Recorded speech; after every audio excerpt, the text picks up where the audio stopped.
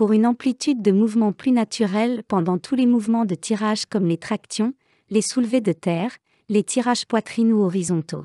Au lieu d'être obligé de s'agripper une barre fixe, vous pouvez maintenant bouger librement vos bras.